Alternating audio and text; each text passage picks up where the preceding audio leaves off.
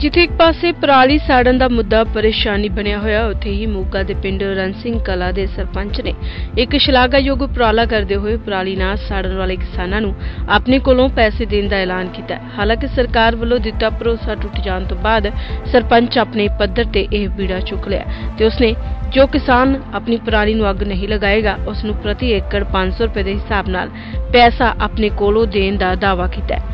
ਪਿੰਡ ਦੇ ਸਰਪੰਚ ਮਿੰਟੂ ਦਾ ਕਹਿਣਾ ਹੈ ਕਿ ਕਿਸਾਨਾਂ ਕੋਲੋਂ ਇੱਕ ਫਾਰਮ ਭਰਾਇਆ ਜਾਵੇਗਾ ਤੇ ਫਿਰ ਸਾਈਨ ਲਏ ਜਾਣਗੇ। ਪੰਚਾਇਤ ਦੇ ਮੈਂਬਰ ਖੇਤਾਂ ਦਾ ਦੌਰਾ ਕਰਨਗੇ, ਜਾਂਚ ਕਰਨਗੇ ਕਿ ਕਿਸਾਨਾਂ ਨੇ ਪਰਾਲੀ ਨੂੰ ਅੱਗ ਲਗਾਈ ਹੈ ਜਾਂ ਨਹੀਂ।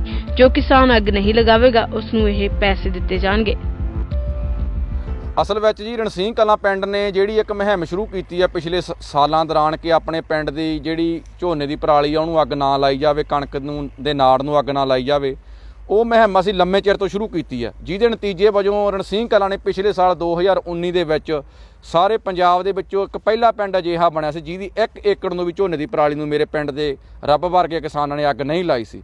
ਪਰ ਸਾਡੇ ਪਿੰਡ ਮੋਗਾ ਦੇ ਡੀਸੀ ਸਾਹਿਬ ਸ਼੍ਰੀ ਸੰਦੀਪ ਹੰਸ ਜੀ, ਜਿਹੜੇ ਬਹੁਤ ਚੰਗੇ ਸਾਡੇ ਡੀਸੀ ਆ, ਉਹ ਬਕਾਇਦਾ ਸਾਨੂੰ ਸ਼ਾਬਾਸ਼ ਦੇਣ ਮੇਰੇ ਪਿੰਡ ਦੀ ਸਲਾਹਗਾ ਕਰਨ ਲਈ ਰਣਸੀਂਹ ਕਲਾਂ ਆਏ ਸੀ ਔਰ ਉਹ ਕਹਿ ਕੇ ਵੀ ਗਏ ਸੀ ਕਿ ਅਸੀਂ ਜਿਹੜੀ ਸਰਕਾਰ ਵੱਲੋਂ ਸਕੀਮ ਚਲਾਈ ਗਈ ਹੈ ਕਿ 1000 ਰੁਪਇਆ ਪ੍ਰਤੀ ਏਕੜ ਦੇ ਹਿਸਾਬ ਨਾਲ ਜਿਹੜੇ 5 ਏਕੜ ਵਾਲੇ ਕਿਸਾਨ ਆ, ਅਸੀਂ ਉਹਨਾਂ ਦੀ ਖਾਤਿਆਂ ਵਿੱਚ ਪੈਸੇ ਪਵਾਵਾਂਗੇ।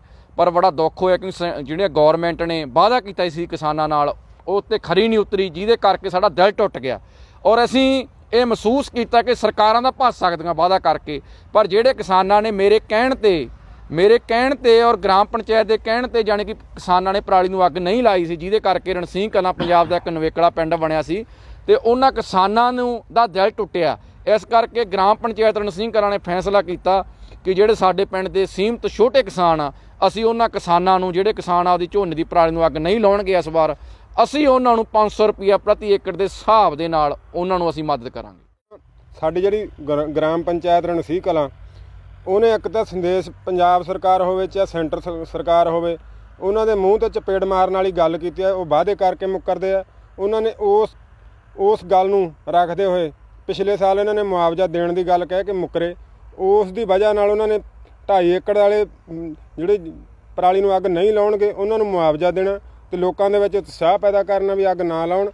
ਇਸ ਕਰਕੇ ਇਹੀ ਉਪਰਾਲਾ ਕੀਤਾ ਇਹਨਾਂ ਨੇ। ਇਸ ਵਾਰ ਕਿੱਦਾਂ ਦਾ ਇਹਨਾਂ ਨੇ ਉਪਰਾਲਾ ਕੀਤਾ ਪੰਚਾਇਤ ਵੱਲੋਂ? ਇਸ ਵਾਰ ਇਹਨਾਂ ਨੇ ਜਿਹੜੇ ਲੋਕ ਅੱਗ ਨਹੀਂ ਲਾਉਣਗੇ ਉਹਨਾਂ ਨੂੰ 500 ਰੁਪਇਆ ਪ੍ਰਤੀ ਏਕੜ ਮੁਆਵਜ਼ਾ ਦੇਣਗੇ ਜੀ। ਕਿਸਾਨ ਹੋਣ ਦੇ ਨਾਤੇ ਕੀ ਅਪੀਲ ਕਿਸਾਨਾਂ ਨੂੰ ਤੁਸੀਂ ਕਰੋਗੇ ਪਰਾਲੀ ਨਾ ਜਲਾਉਣ ਨੂੰ ਲੈ ਕੇ? ਪਰਾਲੀ ਦੇਖੋ ਜੀ ਇਹ ਸਰਕਾਰਾਂ ਨੂੰ ਕੋਈ ਫ਼ਰਕ ਨਹੀਂ ਪੈਂਦਾ। ਚਾਹੇ ਪਰਾਲੀ ਦੇ ਅੱਗ ਲਾਵਾਂਗੇ ਧੂਆਂ ਫਿਰ ਵੀ ਅਸੀਂ ਇਹਦੇ ਧੂਏ ਦੇ ਵਿੱਚ ਅਸੀਂ ਹੀ ਰਹਿਣਾ। ਉਹਨਾਂ ਸਰਕਾਰਾਂ ਨੇ ਤਾਂ ਨਹੀਂ ਰਹਿਣਾ। ਸਾਡੇ ਬੱਚਿਆਂ ਨੇ ਰਹਿਣਾ ਸਾਡੇ ਮਿੱਤਰ ਕੀੜਿਆਂ ਨੇ ਮਰਨਾ ਸਾਡੇ ਜਿਹੜੇ ਆਲੇ ਦੁਆਲੇ ਦੇ ਦਰਖਤ ਆ ਉਹਨਾਂ ਨੇ ਸੜਨਾ। ਉਹਨਾਂ ਸਰਕਾਰਾਂ ਨੂੰ ਤਾਂ ਜੇ ਪਤਾ ਹੀ ਸਾਰਾ ਪਤਾ ਹੀ ਆ ਉਹਨਾਂ ਨੂੰ। ਉਹ ਜਾਣਬੁੱਝ ਕੇ ਅੱਖਾਂ ਮੀਚ ਕੇ ਬੈਠੇ ਹੋਏ ਆ। ਜਾਣਬੁੱਝ ਕੇ ਇਹ ਕਾਲੇ ਕਾਨੂੰਨ ਬਣਾ ਰਹੇ ਦੱਸ ਦਈਏ ਕਿ ਪਿੰਡ ਦੋ ਵਾਰ ਰਾਸ਼ਟਰੀ ਇਨਾਮ ਜਿੱਤ ਚੁੱਕਿਆ ਹੈ ਤੇ ਪ੍ਰਧਾਨ ਮੰਤਰੀ ਨਰਿੰਦਰ ਮੋਦੀ ਵੀ ਇਸ ਪਿੰਡ ਦੀ ਤਾਰੀਫ ਕਰ ਚੁੱਕੇ ਨੇ। ਬਹਰਹਾਲ, ਪਿੰਡ ਦੇ ਸਰਪੰਚ ਵੱਲੋਂ ਚੁੱਕਿਆ ਇਹ ਬੀੜਾ ਸ਼ਲਾਘਾਯੋਗ ਉਪਰਾਲਾ ਮੋਗਾ ਤੋਂ ਜਸਵਰਮਾ ਦੀ ਰਿਪੋਰਟ, ਡੇਲੀ ਪੋਸਟ, ਪੰਜਾਬੀ।